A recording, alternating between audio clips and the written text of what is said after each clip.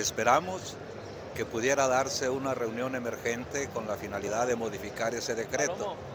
vamos a seguir insistiendo, sobre todo en ese ajuste a las tarifas, eh, a raíz de que, bueno, nos quita a nosotros muchas posibilidades de mejorar el sistema. Eh, estábamos esperanzados que una nueva tarifa nos permitiera tener más recursos para poner nuestras, nuestros vehículos en mejores condiciones. Lo que sí creemos es que nuestro parque vehicular se va a ir deteriorando y no tendremos los recursos suficientes para, para irlos mejorando. Eh, desde luego tenemos nosotros que realizar servicios preventivos a los vehículos y esto de una o de otra manera nos genera muchos costos. Ahorita los costos los estamos absorbiendo directamente los concesionarios. Eh, desde luego los choferes están resintiendo porque sus recursos también se han visto mermados.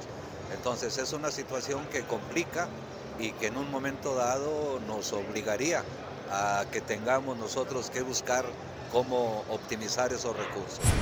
Bueno, para nosotros fue un golpe duro porque, bueno, después de dos años de no tener un ajuste a las tarifas, pues nuevamente este año nos vuelven a, evitar ese incremento.